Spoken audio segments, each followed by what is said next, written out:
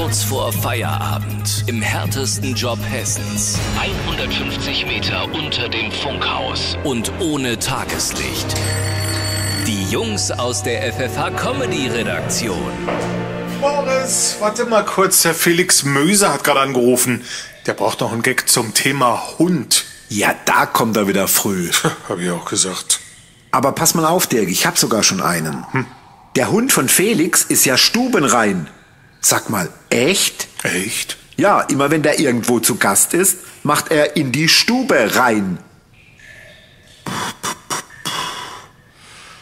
Ja, also ich finde den Hammer. Ja.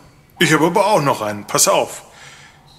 Ich schenke Felix zu Weihnachten übrigens einen Knochen und ein Buch.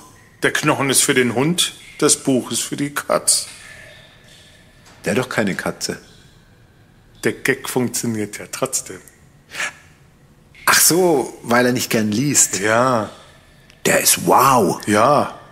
Aber jetzt hab ich ihn. Pass mal auf. Wegen den vielen Einbrüchen jetzt im Winter habe ich mir ja einen echten Wach- und Schutzhund zugelegt. Sag mal, krass. Krass. Ja, immer wenn er wach wird, sucht er bei mir Schutz. Wach und Schutz. Ich. Also komm, den schick mal hoch, der ist spitze. Schluss mit lustig. Genau. Endlich Feierabend im härtesten Job Hessens. Der FFH Comedy Keller. Jeden Nachmittag bei Hitradio FFH.